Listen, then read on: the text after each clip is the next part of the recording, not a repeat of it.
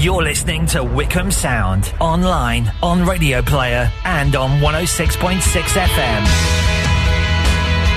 Welcome along. This is episode seven, although officially I think we stopped counting at four of the Wycombe Wanderers show. Uh, this is the first um, programme that we've done where two games have happened since the last one. It is. It's very It's exciting. a bit like those jingles, really. Yes, uh, we will be reviewing uh, the uh, games against Millwall, which does now seem quite a long time ago, um, and Reading. Of course, the Millwall game gave us the first goal Hooray. for Wycombe Wanderers in the Championship, uh, so we shall celebrate that. And of course, we are looking ahead to Saturday's game uh, away at former Premier League boys Norwich. Talking to talking of looking ahead, uh, kicking off this season is the league campaign for Wycombe Wanderers ladies. We'll catch up with their manager Dave Ward. Uh, also talking about their fantastic women's FA Cup run, uh, which saw saw them get to the second qualifying round, going out to Fulham. And we will be chatting to former player Ken Wilson as well. Uh, Colin was chatting to him, uh, uh, I think it was uh, earlier on this week, wasn't it? It was. Um, uh, and so looking forward to that. Yet another former player that we can tick off. Uh, we've only done seven episodes, and I think we've now had six former players on, which isn't bad. And we've covered different eras as well, We thanks to the Ex-Players Association. So we spoke to uh, Len Worley, who was around in the 50s. He was, yes. Uh, we've spoke. I'm not sure I'm going to do this in order. Uh, we spoke to Glyn Creaser, who was around in the Are you 90s. doing it in order so far? Yeah. And we spoke to um, John Maskell, who was around, well, from the 60s through to 1980. So that's covered quite an era there. And uh, yes, we'll be chatting to uh, Ken, who was around in the early 80s. Looking forward to that. That's uh, going to be fantastic. Uh, also hearing from Gareth um, quite a few times. So we're going to hear from Gareth post the Millwall game, post the Reading game, and also uh, today uh, where he was previewing the Norwich City match. Uh, all of which you've been to, of course, the, the Millwall. And yeah, just, Yes, just no, two, I- it feels like more games, Yeah, it? again, it does. Yes, uh, so I was at Reading um, on uh, Tuesday night. Uh, it, wasn't too cold actually; it was quite nice. Uh, but but Reading on an October Uh, evening. Indeed, yes, yes, definitely got lots to, to recommend it. Um, and I know uh, I keep sounding like a broken record every time I speak to Gareth and every time that I sit in this chair. But we played really well again. We really did. I We think that makes it worse, doesn't it? If, you if, know- you, if we if we played badly and then lost, you think, well, fair enough. Yeah, yeah. I mean, uh, you know, I, I, I felt th- there've been two times this season where I've come away thinking, well, yeah, okay, fair enough. Uh, one was the Blackburn game where obviously it was five 0 The other one was the Swansea game where uh, you felt that actually they spent most of that game in second gear. They they went up into third gear to score their two goals and then very much came back to second gear. And yes, okay, we competed with them quite well in the second half, but you did slightly feel that actually if we'd started to threaten, they probably would have gone up a few more gears. But every game since then, you know, we've played really well. And I went along to, to Reading on Tuesday thinking, well, goodness me, you know, they're second in the table. They were second in the table then, obviously, almost an identical record with Bristol City, apart from a slightly inferior goal difference. Um, and you know, and, and they hadn't lost all season, and, and you just think, well, yeah, this is going to be a really long night, isn't it? And it's you know, it's gonna it's gonna be hard to find any positives whatsoever. And actually, you know, goodness me, the first half, six shots to Reading's none, um, and you know, and they really did look quite rattled. Um, I do wonder slightly whether or not teams are now looking at the table and underestimating us for the first 45 minutes, and possibly the same was true of Millwall as well, because the very notable thing about both Millwall and the Reading games was that clearly their managers had a little bit of a word in their ear at half time, because they came out in the second half looking a lot more determined, a lot more committed, and a lot more up for it. Um, but that's not to put anything, um, you know, against Wycombe's performance. In both games, we played really well, we competed, um, and we were so unlucky uh, against Millwall not, you know, not to at least get a point. And against Reading again, you know, we we deserved, you know, last last few minutes. Fred had a couple of opportunities.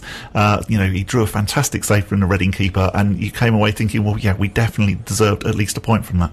And it must have been such a great feeling to take the lead on Saturday. Oh, it was brilliant. That uh, you know that that was easily the best moment of the season so far. Um, you know, when you're sitting in the press box, you are meant to slightly have a bit of decorum. Um, but I was sitting there with um, Dan, the guy who does the the Chairboys live um, um, broadcast, and you know, and both of us, yes, so the decorum went straight out the window. We were jumping up and down and yelling, and um, as I mentioned to Gareth, actually the the amount of noise, you know, you did slightly feel that there were fans in the stadium because there was a lot of noise uh, quite a lot of it being made by, by Pete Couhig, unsurprisingly. And Scott Kashket wasn't somebody who we picked as the first championship goal scorer. No, he wasn't. I mean, thank goodness that actually it was a Wycombe player because we did also previously discuss that, you know, we really hoped that the first goal would be from a Wycombe player because, you know, it would be slightly awful if it was an own goal, if it was off somebody's knee, um, you know, head, back, backside sort of thing. And, you know, the Millwall keeper nearly actually sort of gave us a goal like that. He certainly could have done better, uh, but Scott was alive to it and made sure that actually, you know, it was a Wycombe name on the team sheet rather than it went down as an own goal. Yes, so the subject of last week's poll uh, was who do you think uh, to be the first goal scorer? The subject of this week's poll, which we'll give you more details on in a moment, uh, is where do you think the first points will come from? But first, let's hear the thoughts of Gareth after the Millwall game on Saturday, speaking to Bob. I keep saying this to you. You must be sick of me saying it. You played so well. Yeah, we did. We did. Uh, again, it's an improvement, um, and I, I, think as long as people keep saying an improvement and an improvement and improvement, you know, Swansea and Blackburn are distant memories now. If we'd have played like that against them, I'm sure we'd have got more out of those games as well. But it was uh, it was a tough, tough game against a tough Millwall side. Um, Gary Rowett's a good friend and a great manager, and I'm sure that they're going to be uh, a decent side, taking a lot of points off people this season. So really proud of the boys and uh, and some good positive moments. First goal, Akinfenwa back, Anis Mehmeti, young young boy making his debut, which is you know all all positives for Wycombe Wanderers, and uh, really pleased and uh, and hoping that we can get our first win very soon. And Anis being the first Wycombe player to be born after the year 2000, which makes me feel old. I'm sure it makes you feel old as well. Very old, um, but I mean he's a cracking kid. He's uh, he's been really impressive in training, uh, and and it's what we have to do here. You know, um, really pleased with Josh as well. He came in and had a great debut, but um, unfortunately, you know, we uh, we just came up short today, and, and, a basic mistake has cost us, and and also you know the, the goal could have could have been given. It wasn't. You uh, you take that. You have to take it on the chin sometimes when Scott Kashket scored, it did sound like a bit of a small explosion went off in here. I couldn't help thinking, though, that if the fans had been here, it would have been absolutely phenomenal. Yeah, you know what? We miss them. We miss them big time. And all um, my biggest thing this season is these, these, all these people have supported this club for so long are missing out on this fantastic season that we uh, we're in the championship. Um, hopefully they'll be let in soon, but I'm sure that the first win and a big cheer around the houses of Wycombe will be coming up soon.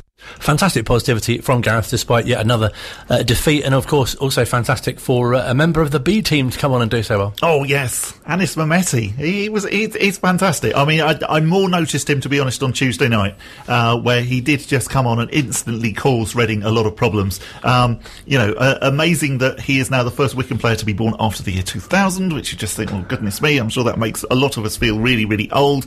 Um, and yeah, he, he was signed obviously as a, a B team sort of prospect player, but I don't think he's possibly going to be troubling the B team for very long.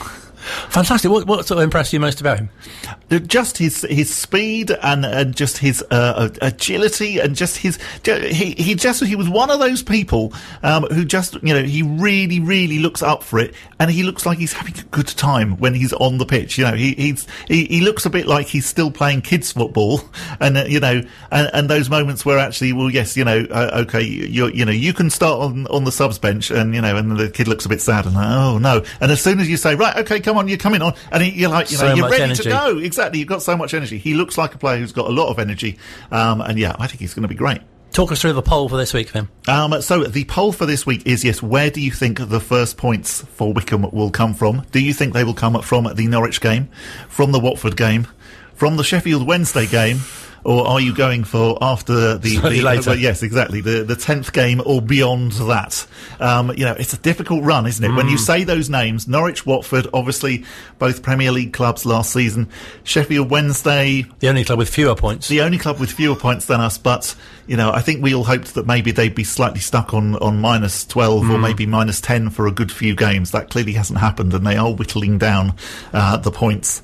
Um, you know, I I really hope they're still behind us by the time that we play them because mm. that hmm. might be slightly depressing. That'll be a six pointer, no, maybe yeah, more. yes, well, yeah, when you start on minus 12, you're not quite sure, are you?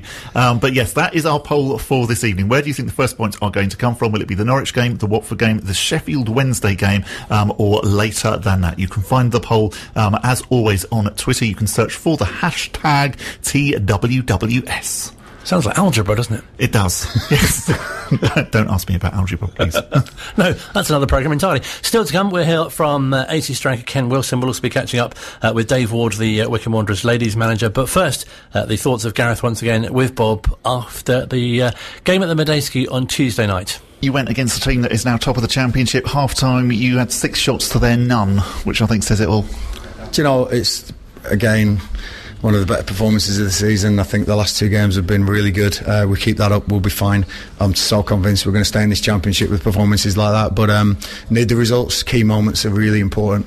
And when you've got a striker you've paid millions of pounds for, he comes up with a key moment. You know, we, we can't do that. We haven't been able to do that. But I'm sure that we uh, we've got enough in this dressing room to, to start winning games in the championship. Six on a run now for me defeats. That's never happened before. Um, but you know, I don't care. We've never been in the championship before. We've uh, we've got to make sure that we are, you know, really positive for Saturday. Going into uh, that game, taking some of the stuff we've had tonight, um, but just making those key moments, you know, count. Um, you know, they've had they've had a, a hoof up front chested down and he's turned us and, and scored a goal and, and, it's not good enough you know we don't get to do that. We've had to work really hard for our chances and when we've had them we've got to stick them in the goal as well got to hit the target work the keeper. Um, yeah it was it was a, a great performance but again it's a defeat and I'm not stupid uh, we need to start winning games and Fred nearly did the same thing right at the end as well. St- st- nearly stuck it in the goal. Yeah, I mean the keeper's made a fantastic save, and I think Fred will be disappointed with the one earlier, a couple of minutes earlier, where he's, he's gone over the bar. I think that was a, a great chance to get an equaliser, um, and who knows then. But no, pleased. I've got a few injuries still. They're coming back. Um, boys are good. Boys are okay. You know, it's just now that we've got to make sure we are competitive in every single game the way we can be because uh, I'm not scared of this championship at all. I'm really, really looking forward to this, and uh, it's great when all these national papers keep telling uh, telling everyone that Wycombe haven't won a game yet. They're still talking about us. If they're not, if they're not bothered about us, stop, stop writing about us. Uh, it's great. There's only one thing worse than being talked about. That's not being talked about. So I'll take that all day. Anis Mehmeti looks like he could be a lot of fun. Anis Mehmeti is going to be one heck of a player. Um, I think he could play a really high level. Um, I'm really pleased with him. I'm going to have to rein him in on that 40 yard shot that he tried. Um, but um, his, his confidence is brilliant. I think he sees passing ability, the way he can motor down the wing. Um, he's going to be a big player for us, and, I, and I'm sure that um, you know we uh, will be seeing plenty more of Anis. I think you can tell how well we played. The fact that actually Gareth sounded quite depressed in that interview. Mm. You know, he really knew how close we'd come to getting a point out against the side that were now top of the championship. Um, and yeah, I, you know, I actually, I thought that was a good thing that actually, you know, he was disappointed. He said how disappointed the boys were in the dressing room. And that just goes to show, well, you know, they did play really, really well. And just quickly, something which keeps coming out as well, and you'd know more from being at the games as well, uh, certain refereeing decisions seem to be going against Yeah, well. definitely. You know, it, it, really is that thing that when you're playing in a league like this, when you're the new boys, you're very much seen as the new boys and, you know, almost as if you can't be trusted. And of course, all of the 50-50 decisions will go to the teams that actually, you know, were in the championship, have been in the championship previously, and that is, you know, yeah, slightly sticks in the in you know, just it's just annoying. Just shouldn't be. Anyway, uh, let's continue now. Uh, let's uh, talk about Wycombe Wanderers ladies because their league season starts this coming Saturday. The reason for that, actually, uh, it, it's nothing to do with COVID. It's nothing to do with the weather. It's the fact that they've done so well um, in uh, the FA Cup. Of course, this week, um, in fact, just 24 hours ago, we had the news that Tara Woodward, uh, Wycombe Wanderers ladies striker and one of the leading goal scorers over the past couple of seasons, has announced that she is stepping away from football for a while. so I started started off by asking Dave uh, about Tara. It was a personal choice for Tara for uh, a series of personal reasons, as I understand it. It was a bit of a surprise, um, but you know, um, she's had to make those choices for herself, uh, which she's done, uh, and she goes with our blessing and our support. Um, and I wish her every success uh, with whatever she chooses to do in the future. Um, but now's the time for me to focus on the other players in the squad um, because now they're the ones that are left uh, having to fight for um, the, the club. Wycombe Wanderers fans actually are quite aware of who Tara is. She's got quite a strong social media presence. Uh, does, yeah. You know, we're, we're all aware um, of, of, various situations that she's had previously. Um, and as you say, I think, you know, we we all wish her absolutely 100% the best and, you know, and hope that one day we're going to see her back in the, the light and dark blue quarters. Well, you never know. You never know. Um, you can never say never to these things, can you? Um, so, but but yes, I think for the time being, you know, I think uh, Tara wants to uh, take a break, and she needs to. Uh, sort of recharge her batteries and her enthusiasm, uh, and also to deal with what, whatever else is going on in, in her life. Um, you know, and those decisions I know are quite personal to her um, and that should be respected. The season starts on Sunday, um, but the reason that the season is, is sort of being delayed is actually because how well you've done it in the FA Cup. Yeah, uh, uh, uh it's, it's been really quite a strange season. What with uh, pre-season suddenly merging with uh, competitive uh, fixtures in the FA Cup, um, so the FA Cup has almost proved to be a um, pre-season program as well. Um, but it's it's it's been quite an eventful journey. Um, it's one that we've all enjoyed uh, immensely. Um, it's a shame that it came to an end on Sunday against Fulham um, because we we've fallen one stage earlier than we did last season, which was the furthest we'd ever got in the competition. But you know, on reflection, uh, we didn't take our chances on Sunday, um, and we had probably four or five good chances in the first half to put the game to bed um, and fluffed our lines on those. And then we conceded a fairly poor free kick, in my opinion, um, wide on the left, uh, just over after the hour.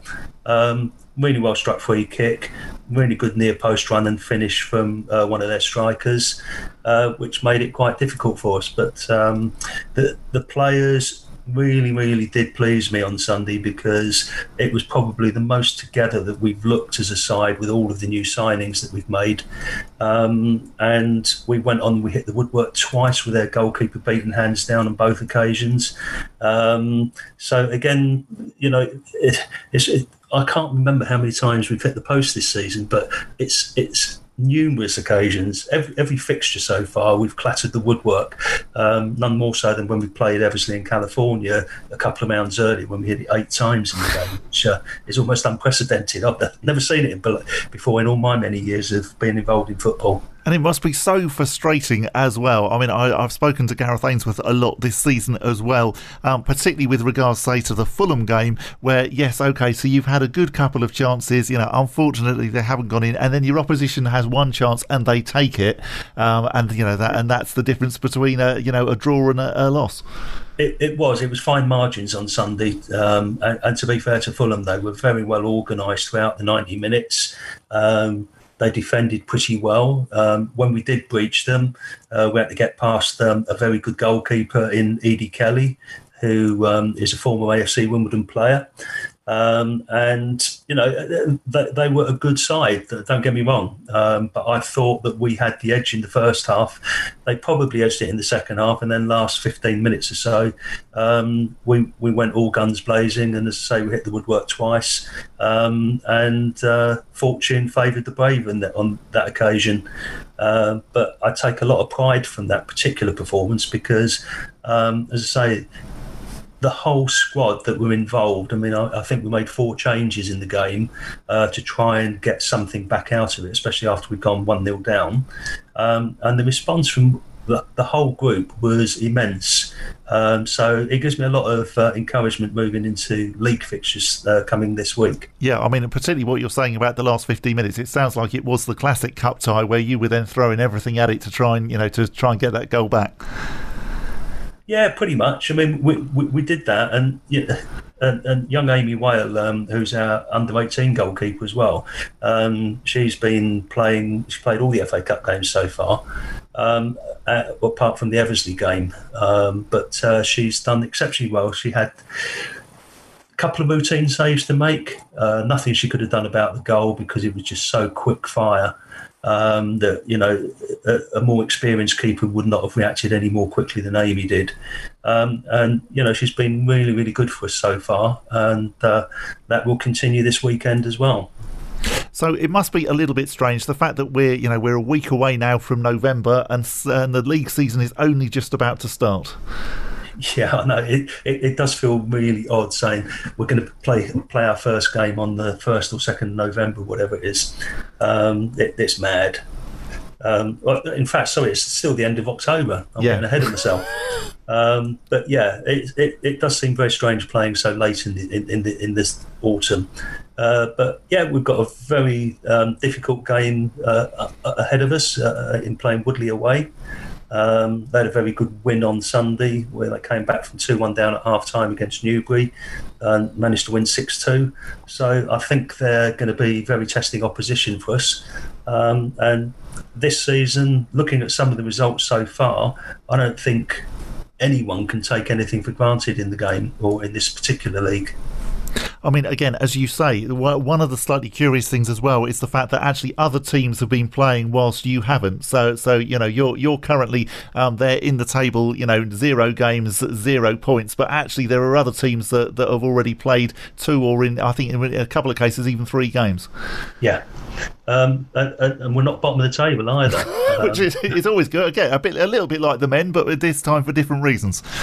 Yeah, a- a- absolutely. I mean, it's very important for us to get off to a good start on Sunday, um, and uh, I've, got every, every confidence in our players that uh, they'll be able to deliver uh, on the day. Um, but it will not be an easy game. For uh, uh, you know, there's nothing you can take for granted in this league. Um, everyone's uh, capable of beating each other, but you know, we've got a group of four, five of us, I think, who are considered the favourites for potentially promotion this season. I regard us as one of those. Um, uh, but it's important for us to get off to that quick start because dropping too many points um, when competing for solitary promotion spot is uh, is not ideal. So it's really a case of we must win games. Uh, drawing games is not really helpful, and losing certainly isn't. So you know we've got to go all guns blazing on Sunday and uh, hope to come away with a positive result. And yeah, I would imagine that that's true. Playing in a league where actually there aren't, you know, there aren't as many teams. You know, Gareth Ainsworth will, will okay, he's got 24 or 23 opponents to play, whereas you haven't got anything like that. So actually, as you say, drawing games quite often isn't helpful. You are really looking for the three points every time. Pretty much, and uh, and history shows that in in the league, those teams that have gone on to win uh, the, the championship and then get promoted to the national league level have usually dropped maybe two, three points across the season. Some have gone completely unbeaten and won every game, uh, or maybe just got the odd, odd point, uh, odd two points in a draw. Um, but you know, the championship side usually goes through pretty much close to unbeaten all season. Uh, and, and you know it, it's that's why it's so important to get off to that positive start. And you know, one could argue that on paper we're looking at Woodley and Newbury as the two opening games, um, but they've always proved tough opponents. Um, especially in their own backyards as well, uh, where they can make life very difficult for, for sides that like to play. Um, they too have players in their side that can hurt us. Um, their striker, Rosie Page Smith, is well known in the game um, at this level, and she always scores goals. So, you know, we've got to be concentrating for the, for the whole 90. We've got to make sure we defend well, uh, but we've also got to make sure that we're far more ruthless in the top third, which is probably the, the one thing that um, uh, uh, has cost us in terms of having more comfortable victories in the FA Cup so far. It's interesting that you talk about um, teams being difficult to play in their own backyard. Obviously, there's been quite a debate um, since um, league games have been played behind closed doors about whether or not home advantage does count for very much, particularly when fans are there. I know that at the level that Wycombe Wanderers ladies play, um, you know, having a crowd there is is not something that happens particularly often. So, how do you find home advantage um, in in a division such as Wycombe Wanderers ladies are in? Well, the home, advantage for us is the fact that we play on a 3G surface, uh, which we're very familiar with. It's a true surface, um, and uh, again, some opponents find it a bit more difficult, but I think less so nowadays because uh, virtually every side in the division, as far as I'm aware, trains on a 3G surface uh, throughout the winter. Um, but it's when you go onto grass pitches after having had the luxury of 3G, where the bounce is true, the bounce is consistent. Uh, you get onto a heavy, muddy pitch, and it's a very different ball game for our players. Um, and you know, fortunately, we've had a, a bit of practice having played on grass for the last two weeks. Um, and you know, players are now used to that surface. So playing Woodley away actually is um, not something that should worry us in terms of the surface. But uh, you know, I don't want players looking at excuses. I think they should be able to play on any surface. Um, and I'm confident that the quality we have in the side can do that. Um, but, you know, there's no doubt about it. I've got a very strong squad this season. Um, it's a very competitive squad, um, and it's one that I hope will do well. What are you looking at in terms of the season then? So, so promotion definitely is is a possibility.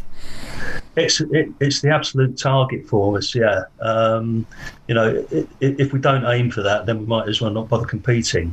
Um, but I think that the additions that we've brought into the side, along with the players that we've retained, we have a very strong group this year, uh, and you know, on their day, they should be able to compete with the likes of Moneyfields, Bournemouth, Abingdon, um, and give them a very good run for their money. And I think the players that were with us last season uh, and with the new additions, uh, there should be enough know-how there to to see us get our noses in front and then see games out uh, and to manage games effectively. For those who aren't aware, tell us whereabouts you sit within the, the football pyramid of women's football. So obviously people are very familiar with the Super League, but whereabouts do Wycombe fit into that that that um, sort of puzzle, as it were? Yeah, we're, we're four tiers below that.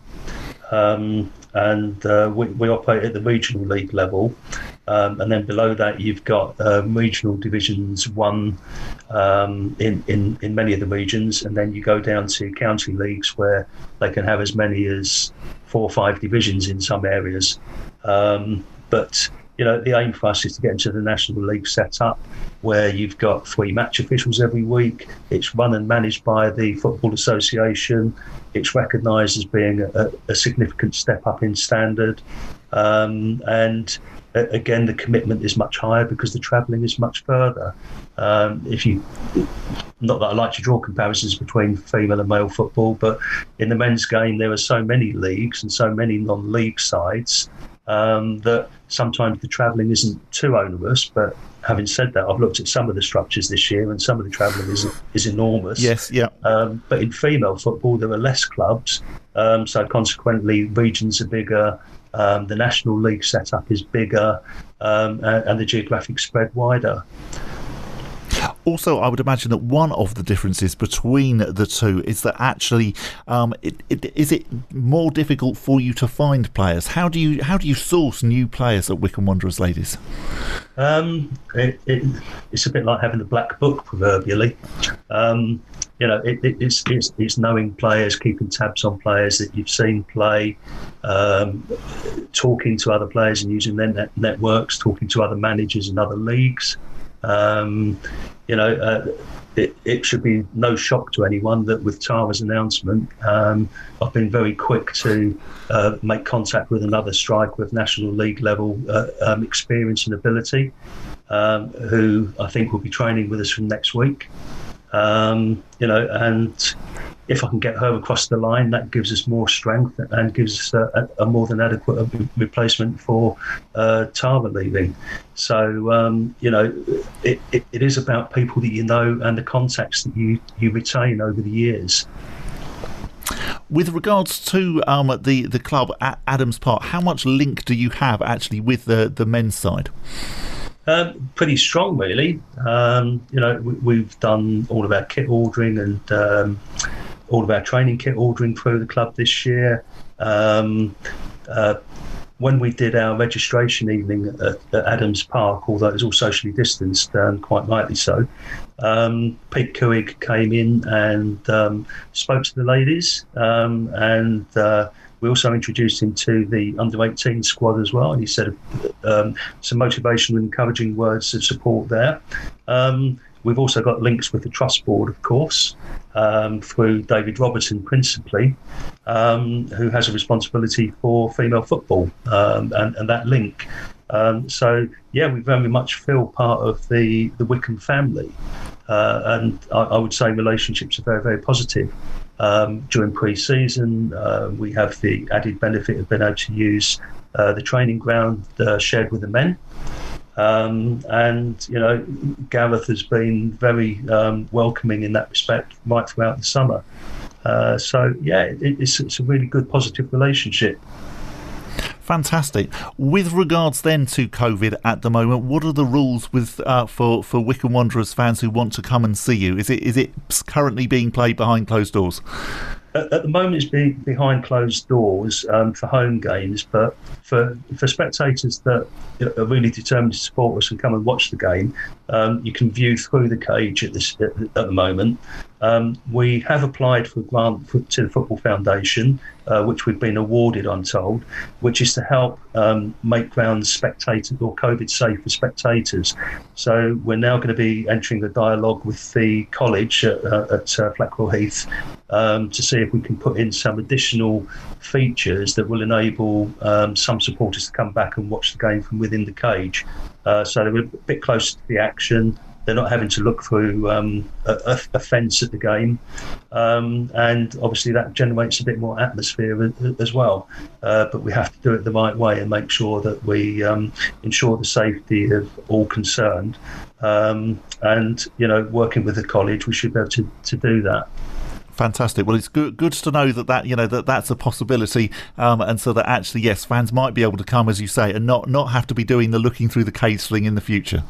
Yeah, absolutely. Uh, I, you know, and I, I'm so grateful for the support that we've had um, for our home fixtures so far, um, and uh, long may that continue. But it'd be really nice to get those people back inside the cage so they can get closer to the game. Fantastic. Well, Dave, all the very best against Woodley United and for the whole season. And obviously, do come back on regularly and tell us how you're getting on on, on the Wycombe Wanderers show. Yeah, thank you very much. Um, I'm just hoping we can bring the points back on Sunday evening for everyone. Um, but uh, yeah, and I'd love to join you again. Absolutely, you know we, we we need some points here at Wycombe Wanderers. Clearly, you know the, the, the men aren't delivering at the minute. Let's keep our fingers crossed for the Norwich game and for the Woodley game as well. Uh, and how fantastic it would be on Sunday evening to be sitting there with, with six points between the two of you. Yeah, I, am sure that Gareth and his squad have got more than enough capacity and capability to start getting points on the board. Um, you know, it, it, it's obviously been a bit of a shock to start with, but you know the game on um, Wednesday at Reading. Uh, my understanding is again that uh, the lads did really, really well and uh, were undone uh, by one ball. Yeah, I, I, uh, I, mean, again, I, you know, it sounded exactly like you were saying about the Fulham game. So I was lucky enough to be there at, at the Reading game, and almost exactly the same. You know, Wycombe did have have chances. Um, yeah. You know, really, Reading had one, and and they scored it. Yeah, and you know, I, from that, I, I think Gareth and, and, and, his team can draw an awful lot of strength moving forward because they will have seen an awful lot of positives from that game, um, and they'll hopefully be wanting to build on those positives, um, reduce any lapses in concentration, which I think all players are guilty of, irrespective of what level they play at, um, and. Uh, they'll they'll get on top of it. I'm sure. Um, they certainly deserve to be there um, no argument, and I'm sure that they'll get themselves out of those relegation spots over the next few weeks. Dave Ward, the manager of Wycombe Wanderers Ladies, although if you've just tuned in and heard him say it'd be really nice if we can get people back into the cage. We're not talking about, like, what is it, UFC or something? into the octagon. Yeah, indeed, yes. No, it was it was nothing to do with that. And we wish them all the best for uh, their opening league fixture away to Woodley. Ah, Woodley United, who, on, of course, are the Sunday. team that Gareth Ainsworth plays for occasionally at the non-league side uh, that he uh, sometimes turns out for uh, on a Tuesday or a Wednesday night. Although I don't imagine that he'll be doing that that much this season, given how many midweek games Wycombe have got. Indeed. Um, latest on the poll. Yes. Um, so poll we are update. asking you tonight uh, who you think uh, will will will uh, give Wycombe Wanderers their first points. will it be Norwich, Watford, Sheffield Wednesday, or will it come later than that? currently, Norwich and later than that um, are, are currently tied for for the lead. Oh. Uh, so uh, come on, everyone. Let's be optimistic rather than pessimistic. If you want to take part in the poll, uh, then go on Twitter and search for hashtag TWWS. Still to come on this week's edition of the Wycombe Wanderer Show, we'll hear from Gareth once again, uh, this time looking ahead to the trip to Norwich, which could be where the first points come. That'd be incredible, wouldn't it? Former Premier League team. Good? Former Premier League team getting, uh, getting points against them. That'd be excellent. And we'll be chatting to 80s striking sensation Ken Wilson uh, in a few moments' time. This is Wycombe Sound. Optimism is the key. That's our feature, I think, isn't it? Throughout the whole the whole of this series. And, and that's how Gareth would be as well. Um, and when you hear him talking about the Norwich game, you know, it's completely different from how he was post the Reading game. And it's, it's, it's so infectious, isn't it? Because you feel, oh yes, the, the, the points are just around the corner. Yeah, absolutely. Apart from everyone that's Really do, voted for yes. 10th place. Well, sorry, that's not me. I have voted for Norwich. Oh, excellent. Yep. So we'll be looking ahead to the game against Norwich. Are you going to Norwich? I am going to Norwich, yes. There's an expression you don't hear very often. Ooh, ah. No, Do you- no, do you know the way? That's very stereotyped. I'm sorry, I didn't say that. Do you know the way? Um, uh, just about, yes. It's a long way, isn't it? It is a long way, and also, it, you know, it's a real pain because um, the, the there aren't really motorways uh, in, No. in that bit of the, the world. So you have to. It, uh, this is going to sound awful. You have to concentrate a bit more, if you know what I mean. Watch out if you're on the roads and you see what I mean? Because there's roundabouts and stuff. you know- Roundabouts? Good lord. Whereas you know, when you go into Blackburn, it's fine because you just get on the M40 and basically it's motorways all the way, so you can just sit there and you know, and you don't really have to think too much. Whereas going to Norwich, too many roundabouts. if Bob's not on the show next week, he won't, Well, well, didn't I- concentrate nearly enough. Either because I will have had an accident or, or I will have been arrested for dangerous driving. That's not going to happen. don't do as he says. Do do do as you do. Uh, let's move on, shall we? Uh, so yes, uh, we mentioned um, a little earlier on that uh, thanks to the Ex Players Association, who we heard from JDT last week on the program and the great work they do, including um, supplying the the nets. Which is a, is a fantastic thing, and the goal for the uh, for the shooting practice. yeah, I thought that was really good. Luckily, it wasn't the nets at Adams Park on Saturday after Ryan Allsop broke one of them. exactly. Yeah, that, That was that was quite exciting. hope someone's That kept the receipts on those. something that you don't see every day. No, it delayed the game somewhat. It well. did rather. And the great thing was that you got the impression that the guys who were trying to mend it were getting slightly more panicked the longer that they couldn't do it, which made the situation even worse. Eventually, they did manage to do it, but you can just imagine that you know, oh, you know, try this, try that. Oh no, no, that's not working. Everyone's looking at us. Come on. It's like, like a panicked pit stop. yes, it was a little bit Chuckle Brothers, but not quite, not quite that. Fantastic. Uh, so uh, earlier on in the week, I caught up with with Ken Wilson, who uh, you may remember uh, was a striker at Loakes Park in the eighties, and. Um, he, he was talking about a whole range of things, obviously, uh, what he's done uh, post the club, but we started by chatting about how he started. It was back in early 1980. I was playing for Hounslow Town then, um, and not really doing that well. I think um, uh, in terms of a football career, really, I'd uh, I'd been at QPR as a youngster and uh, had a few games with Brentford midweek team, but then started getting uh, interested again at Hounslow Town, and um, it was actually Brian Lee who saw me play against um, Basingstoke and recommended me to Mike Keen, and I was joined within a week or two, and, and it was fantastic, the best thing I've ever done. Because it must have been quite an interesting period to be at the club. Yeah, I think they were just not they were winning leagues for fun in the 70s, I think, and uh, this was a, a transition. It was at the Isthmian Premier. Mike was, uh, I thoroughly enjoyed my time with Mike. He was a, a great manager and a really nice man. And I guess as well, it, it was in in a team where, where you had some sort of great players around you, and being sort of the, the sort of attacking winger type player that you were, uh, that must have been exciting for the fans to watch as well. Yeah, I, I, I enjoyed it. It was tough at first. When I first arrived, there was a guy called Mick Hollyfield who was playing in my position, and I thought, how the heck am I going to get into this team? Because he was a fantastic player and a real nice guy. And he re- retired at the end of the first season, so that was my big, big break. so, and I got into a very attacking team. Howard Kennedy was the captain, and excellent forwards, uh, Steve Long, Terry Glynn, real characters like George Borg, and it was uh, a real step up to me, and I really had to respond, and I, I just loved playing football, and the following season, 81-82, was a, a fantastic season for us. We didn't win anything, but we were actually in all four competitions and went out them all in a period of 10 days in, in April. But that was uh, a heck of a team. We made up for it the following year and won the league. But uh, I always rem- had memories of 81, 82. We actually played 69 first team games in that season, and we were just all in when it came to April and the uh, the sharp end. So that was a big disappointment, particularly losing to Altrincham in the, the semi final. I was going to say, it sounds such an, an, an exciting period. Are there any particular matches which stand out especially? Yeah, it was the Altrincham semi-final. I mean, for me personally, I'd scored in the 89th minute in the first leg of the semi-final, and then they scored about the 93rd, and um, that we just didn't really perform at home in front of a really big crowd at, at Wycombe. And that was a massive disappointment.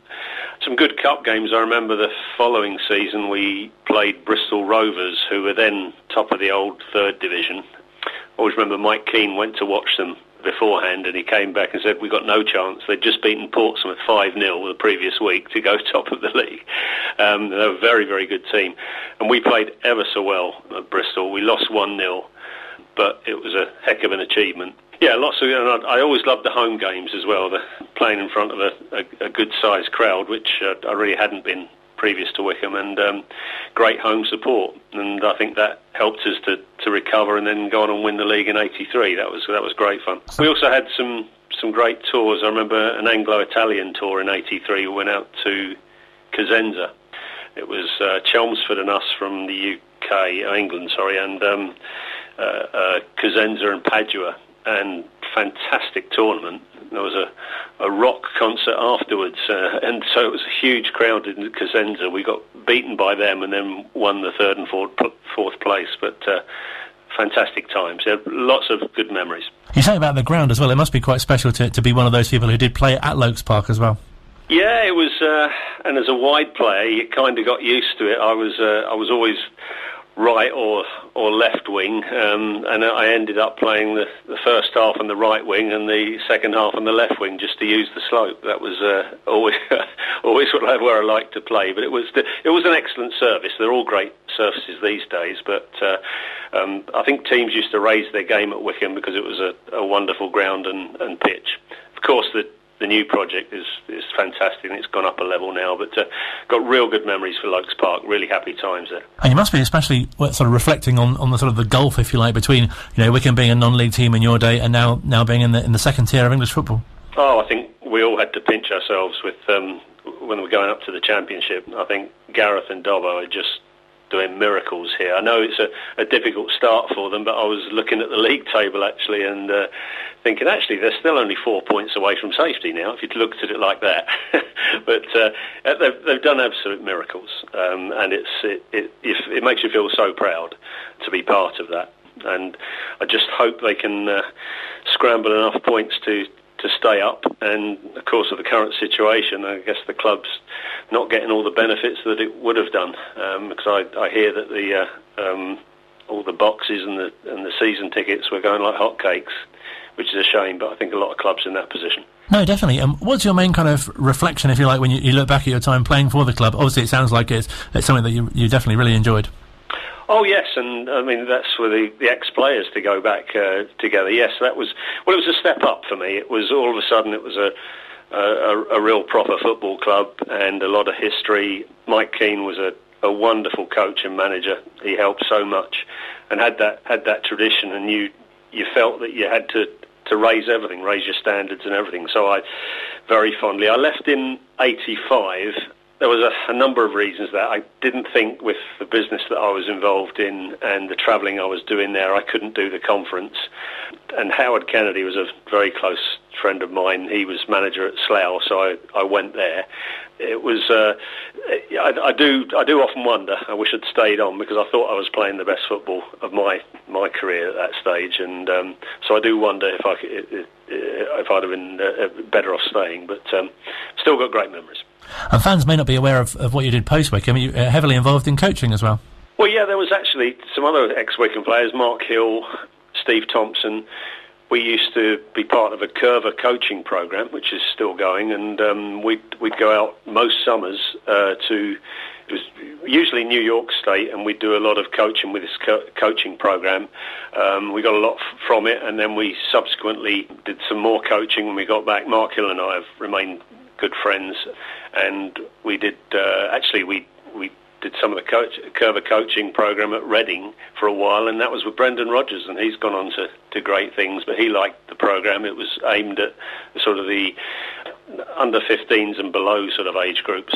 Um, but yes, we've always enjoyed that. Um, I've done some scouting as well. I still do a bit of coaching, but uh, i am I'm with the Scottish Football Association. And I'm, my title is an elite performance scout for the uh, the southeast. So I get sent to generally see under 18, under 23 games, and looking for eligible players and report back to, to Scotland. So that's uh, yeah, I'm still involved, albeit part time in football.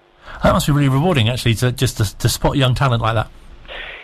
Yeah, it's interesting. Makes you think. Um, I mean, I'm sure um, Gareth and Dobbo have been doing a lot of uh, thinking and looking at players and needing a good scouting regime, which I think they've they've had. They've always done well with that. But um, yeah, it's always everybody's got an opinion. It's it's picking. I'm, I'm seeing what they class as the elite players. I'm going to these fantastic training centres, the Spurs, Arsenal, Chelsea. They're incredible, and looking at lots of talented 16, 18, 21 year olds, um, and thinking, you know, you can't put a cigarette paper between them. They're technically, it's all something else. You're looking for that uh, something else that makes them into a, a, top player. That's very good news, actually, for, for people who are Scottish and, and wondering wondering about the, t- the talent coming through. Yeah, we're looking for anyone eligible. if yeah, anyone's got a Scottish grandfather, then they're in. no, it's uh, no. Scotland are, have turned for the better with Steve Clarke at the moment. They uh, they're they're in much better shape. So that's good. I mean, I, I, get a lot of enjoyment for that. But again, with the current situation, it's it's hard to go and see games because of the restrictions, which is rightly so. Of course, and supporters may recognise uh, your name from uh, your sort of collaboration with, with Andrew Harmon, and that must have been a very a very interesting period as well for you. Yes, Andrew, uh, a, teammate, a good friend of mine, uh, very successful, and uh, has a big love for Wycombe Wanderers and was uh, genuinely interested in in putting forward uh, his proposals. Um, and uh, yeah, I was I, I, supported him on that, and we had a quite a few public meetings with this. And Andrew went and I tried to support him the best I can. Um, it uh, it didn't go through, but the the important thing is the the club has gone from strength to strength, which is that's the important thing. And as you sort of touched on, it must be so pleasing to have been part of, of the club and to see where it is now. Oh goodness, immensely proud. Yeah, yeah, immensely. Proud. I think that's that's shown in the Ex Players Association. I mean, John Taylor and Alan Hutchinson have done such a fantastic job, a real example, and so many people have a great affinity and want to be involved in it. We we have the practical um, events, the uh, the dinner, the um, the golf, the uh, bowls, and it's all well supported.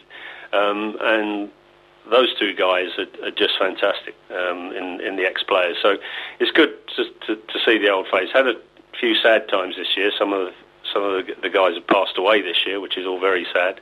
Um, but it's uh, I think it's fairly unique that the club has got a, uh, an organisation like this, which is people going back 50s, 60s, 70s, incredible.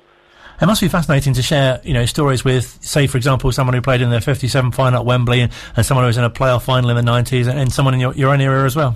Absolutely, absolutely, and and to play golf, play around a golf with them, and and uh, and and just share uh, discussion. And then we got this thing, this bond together that we uh, both we all wore the light and dark blue, and uh, and it's great, and it's it's wonderful. All of a sudden, you uh, you're back out playing sport like golf, and you you feel like you're uh, in a team again. And once again, that's uh, Alan and Hutch that have uh, enabled this to happen. I'd be interested to hear your thoughts as well on, on, if it's possible to sort of put your finger on why what you think is so special about the club, because there, there seem to be some such fantastic stories that perhaps you wouldn't get at other other clubs. Yeah, I think. Well, when I came, it was uh, one of the the last clubs that stepped over from amateur football and, and high principles, and I think there was a a, great local uh, affinity. I mean, some of the stories going back are, are, incredible, and the size of the crowds and what have you. And uh, there was there was great support there. I think it's harder now to do that. There's a, a special feeling in the town. I mean, I, I live over in Ascot, so I don't get to see that many games, but there's a I think there's a, a great affinity there. Um, hard to maintain that in, in this day and age with all finances and big business and owners and, and what have you. But uh, I think Wycombe maintains that better than most, I would say. And really nice, obviously, uh, perhaps it was more more popular years ago, but for players to stay at a team for a long time as well, which which you don't get so much nowadays.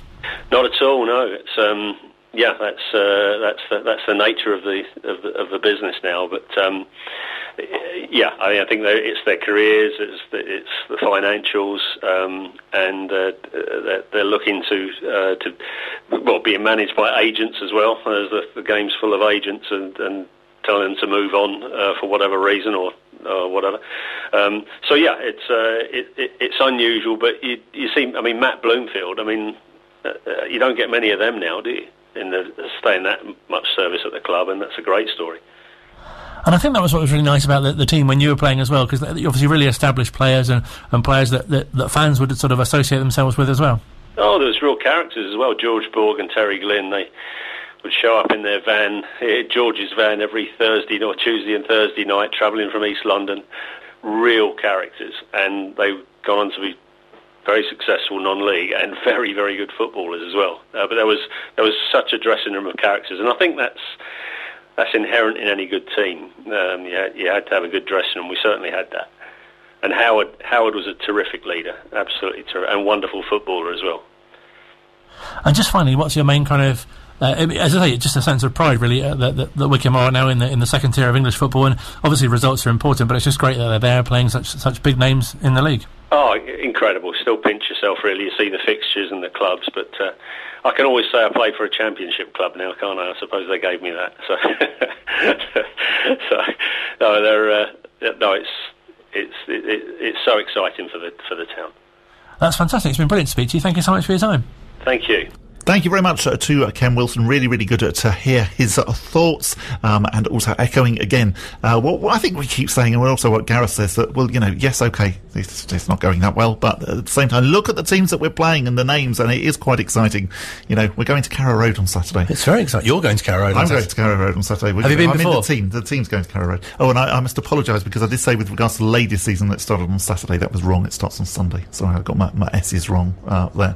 Um, but great to hear from uh, Ken. Um, and uh, we do have more um, previous players and managers, I do believe, um, yes. coming up for you on the Wycombe Wanderer show in the future. Indeed. Keep watch this space, although it's a radio thing, so okay, a bit tricky to do that. Any any any sort of era that you'd like to tease us with? Yes, uh, I should tell you something like that. Uh, we, have got a couple of managers actually that we that we're in, in discussions with, should we say? Okay. And uh, well, one one's more recent, and uh, and one's rather legendary, I should say. Fantastic. Um, and also, we'll be speaking to more, more players from different eras as well. Uh, again, thanks to the uh, Ex Players Association. But still to come, we are speaking to uh, the uh, legendary one that is Gareth Ainsworth uh, ahead of the game against Norwich this coming Saturday. This is Wycombe Sound.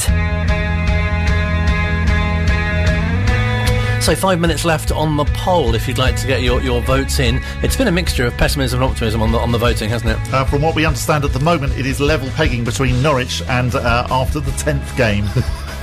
or when after the 10th game, nobody's quite sure. Either, either very soon points will come or in, in the more, more distant future points yes. will come. But at some point, points will come. Points will come. we do promise that. That's very exciting, isn't it? Like you say, there's a real feeling at the moment, I think, of you know, obviously losing six games isn't, isn't much fun, but there's still a feeling of, hey, we can win the championship. Definitely. And, and also, well, we are competing. You know, again, I know people might laugh at that, and, and people who haven't seen the games might laugh at that, but if you watch those games, yes, apart from those two that I said earlier on, uh, Blackburn and Swansea weren't quite so, so good, but the other four, we've played really, really well. And particularly, you know, going into the game on Tuesday night where you did think, well, Reading have done really well, this is, you know, this is going to be a long old evening, and we were great. We played so, so well. Um, and we were just undone by one bit of quality, um, you know, from from a, a, guy who signed for Reading for millions of pounds. So next up is a trip, as we mentioned, to one of last season's Premier League teams, Norwich. Let's get Gareth's thoughts ahead of that game. There's one or two key moments where we were doing it last year as well, but in the Championship you get punished more. You know, you get a, a 10 million pound striker against you like João on Tuesday night uh, one lapse of concentration and he's in and he takes his chance. You don't get that in League One. We get it in the Championship. So, um, but everyone everyone has these momentary lapses. You know, Premier League players have it. You know, all goals you could go into in the Premier League and say there was a mistake here, a mistake there. So we've just got to make sure the key moments um, in both boxes, I think, is what counts, and we're getting to grips with that. Um, but super positive. You know, the performances have definitely been getting there. Um, we are coming up against who I consider to be possibly the best team in the league on Saturday in Norwich. I think they're an outstanding football team with a great manager, and uh, so this is going to be a real test. Um, but you know, we've just we've just taken the team that's sitting currently top of the league all the way, and I think if if we're being honest, people will say, "How did Wycombe not get anything out of that game?" You know, and um, and so that really gives me positive. Uh, attitude going into the next games. You know, I mean, Norwich, Watford, Sheffield Wednesday, Birmingham Forest. What a run of games, and, and it's brilliant. It really is brilliant to uh, to be going into these games. So just keep performing, boys. Keep going the way you are. Um, we'll be just fine. I've I have total belief that this team will stay in this league after what we've just done to Millwall and Reading. Um, I just feel that we uh, will get the look and it'll turn and we'll get the uh, we'll get the points on the board quickly. We're putting in some great displays, but we still haven't got any points. What do you put that down to? It's lack of goals. Obviously, you know we've um, we've we struggled to score. Um, there's no hiding place with that. You know, one in six isn't isn't good enough in the league. Um, we've had shots, but they've been saved. They've been speculative shots. Um, we haven't created as many chances like we did last year, free flowing, touches in the opposition box, shots on target. Although we outdid Reading on Tuesday by quite some distance um, with shots, um, we we haven't hit the net, you know, and and, uh, and that's you know that's key. So yeah, I think scoring goals. We're, we're in a tough league, you know. We're, we're looking for clean sheets, maybe uh, maybe a tough ask in this league, but um, we have to go and score goals at the other end. I think Bayo not being fully fit, Uche Ikpeazu not not being fully fit yet, um, has has been it's been tough, you know, because I think if you look at the goals from last season, Bayo's involved in well quite quite a few goals. Uh, I'd say the majority of the last four years have involved Bayo with assists or scoring. Um, Uche again is coming to to be that Bayo type up front, um, and we you know we we really need the players to start. Um, believing they're going to score and uh, and you know all the training we do, we hit the netting target and training. It's just different in the games. We uh, we're going to make sure we, we start getting some goals on the board, which is, is key for us now. A fully fit Bayo could really do some damage in this league, couldn't he? In any league, Bayo Akinfenwa will cause mayhem, even in the Premier League. Believe me, I know what that guy can do, and if you play the right way to him, he he can he can really dictate games, and uh, and I think having him back will be huge for us. Um, Bayo knows he's not fully fit yet, uh, and it, you know, I think in recent seasons, his first season he wasn't up to speed. His third season, I think it was, he wasn't up to speed, and we missed him. You know, and, and I think that there's no shying away. You know, if if, uh, if one of your top players is out of the team um, in any team, Man United, Liverpool, anywhere, I think you you missed them, and uh, and we've missed Bayo's presence definitely in the first four games, and I think it's no coincidence that last two games we've been super competitive, and Bayo's been involved in both dressing rooms, you know. So really pleased to have him back. He's a fantastic fella, and uh, and looking forward to seeing what he can do in this championship because he got rolled off in League Two, uh, and uh, and that's uh, that's a crazy thing to do because he's uh, he's well worth his weight. Could you do without playing two teams now who were playing Premier League football this time last year? It's a tough run of games, you know. There's no there's no hiding from it. This is the championship, you know, and uh, the good thing is, um, I think there's some teams that are going to struggle this year um, for points. So I think if we can get some points on the board, we won't be far off, uh, uh, you know, battling for our survival, which I firmly believe we can achieve. So. Um, yeah, I don't think it's going to be. We're not going to be cut adrift ever. I think it's going to be a going to be a competitive league right through, and uh, yeah, looking forward to seeing what we can do. But um, the games, you look at it, you know, we've got two ex Premier League teams in the next two games. They're both both with huge parachute payments, both with enormous budgets, and uh, and when I used to go on in leagues one and two about the gap in, in finances and resource wow, you you go to these two clubs and training grounds and, and players they have international players. Uh, you know, I think Watford had over twelve, I think it was, international players in the international break. You know, we had Daryl called up at the last minute, and the difference is is quite substantial in, in, in this league. But we have proved on, on Tuesday and on Saturday we can mix it with, with some of the best teams in the league, and uh, I'm looking forward to mixing it again on Saturday. Finally, the recent history of Norwich City is a little bit like our own. Daniel Farke took them up when nobody expected them to be in with a chance of promotion two seasons ago. What do you make of the job that he's done at that club? What a fantastic manager Daniel Farke is, you know, and a fantastic guy as well.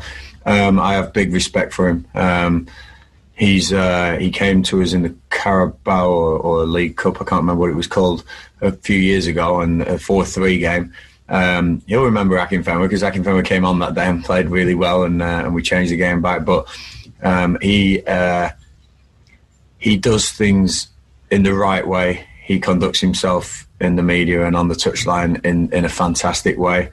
And I've got nothing but the utmost respect for somebody who, who comes to the country from another country and gets the team promoted to the Premier League, um, a big club like Norwich. I think he's, I think he's a fantastic guy. It'd be great to battle against him, and a privilege to go to Carrow Road. You know, this is what it is. You know, I want to go there, and and really make a mark and really get my boys to say, right, we're here. We've we've earned the right to be here. We're in the same league as these, and let's let's have a right go. You know, so um, I'm I'm looking forward to to the whole weekend, and then soon after that we get Watford. You know, we're um, a whisker away from staying in the Premier League. So it's two fantastic games coming up, which should whet the appetite of all the boys. I just want the attitude to be this is what we wanted, this is what we came for, this is what we've been dreaming of all our lives as footballers. Not fearing it, not thinking, oh, these are going to be tough. These are opportunities to show why Wycombe Wanderers got to the championship, and I want to take this opportunity with both hands. Fantastic! I must say thank you to uh, Matt at the club as well for uh, for helping us out with the uh, the interview. Yeah, that was very good of you, Matt. Thank you very much. We do appreciate all of your efforts for Wycombe Sound. Um, I can reveal the poll. Oh, oh, oh Didn't know what was going to happen. No, no, I, wasn't uh, referring back to, uh, to, to Mr. Cecil or Mr. Ainsworth. Um, I can reveal, with regards to the poll, um, that that yes, people have gone for the positive option, oh. and they have said that yes, we will be getting our first points of the season at Carrow Road on Saturday. That's something to look forward to. Indeed, absolutely. Uh, and you know, Norwich. Uh, I mean, they're doing okay, and Gareth was very, very complimentary both about uh, Daniel Farke and about Norwich generally. Mm. Um, but you know, uh, when you look at the table, I'd, I'd I'd rather be playing. If I had the choice at the moment, I'd rather be playing Norwich than Watford. Yes, good point. You know, I know, I, I, I, know that we've then got to play Watford on Tuesday night, but yeah, I would. And of course, Wycombe are a team traditionally who, who raise their game against the bigger teams and, and really like a challenge and. And it would be excellent to get some points. It would be really, really nice. Uh, so Norwich so far um, are, are, currently eighth. Um, played six, uh, won three, drawn one, lost two. And like Ken said earlier, oh, it may be on no points, but still four points from safety. Yeah, yeah, indeed. Uh, uh, let's just check. Yeah, yeah, you know, um, yeah. So, so if we if we win, but with our goal difference, yes, four points from safety, really. And looking ahead, though, quite a few, quite a few tough games to come. I they're, they're all tough at this level, but uh, yeah, that's the thing. They're coming thick and Gareth, fast. When Gareth was then going through them, and you do think, right, okay, Norwich, Watford, Sheffield Wednesday, isn't uh, Bournemouth quite soon? Birmingham well? City, mm. Nottingham Forest. um, but you know, but this is why we're in this league. Absolutely, this is why we're here. So yeah, you know, let, us not get and too, long may it continue as well. despondent. Um, and it was great to hear as well how positive he was um, talking today, because as I say, you know, it was quite noticeable on Tuesday night that he was quite disappointed and he was quite down for Gareth. But actually, I thought that was really good because it actually showed how well we'd played and how close we came to getting a point against Reading. It's very, very exciting. I'm excited. Yes, I'm, I'm looking forward to, to Saturday. I think, you know, I, whereas again, going before the Reading game, I went along thinking, oh, goodness me, this is going to be tough. Actually, on Saturday, I'm going along thinking, we're going to compete today. We're, we're going to give Norwich a decent game. They are going to have to play really, really well uh, to get something from that match. And fingers crossed, we will be bringing some points back to Buckinghamshire from Norfolk on M- Saturday. Must be so buoyed as well by the fact that uh, created many chances in many of the games and now have scored a goal as well. And we've scored a goal as well. That is it from us for tonight. Remember that you can download the podcast from all good podcast providers.